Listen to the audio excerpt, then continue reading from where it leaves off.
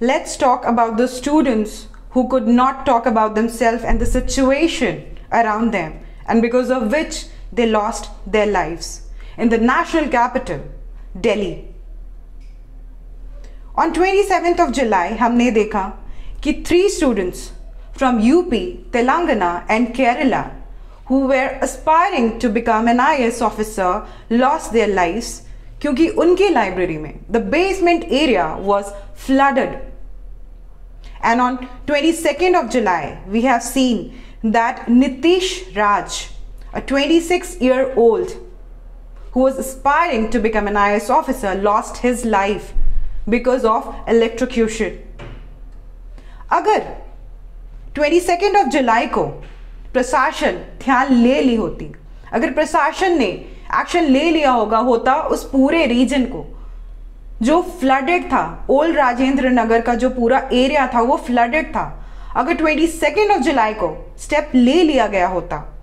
तो twenty seventh of जुलाई का जो ये इंसिडेंट है this could have been avoided obviously this could have been avoided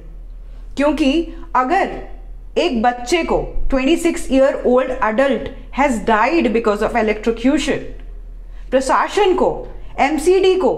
government को एक्शन में आना चाहिए था। और जितने भी क्लॉग्ड एरियाज़ हैं,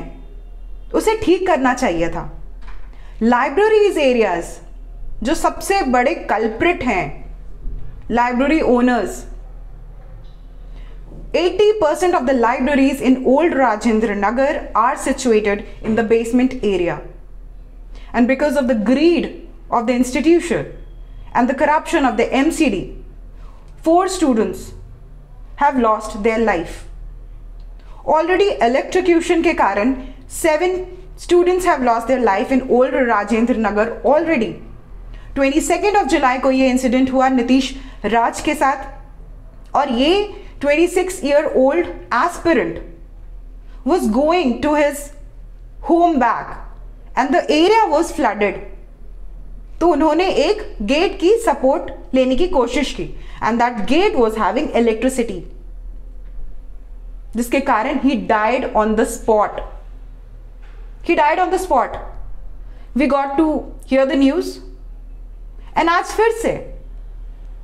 after again few days On 27th of July, we hear that students have lost their life in old Rajendra Nagar itself because of the flooding of the basement area.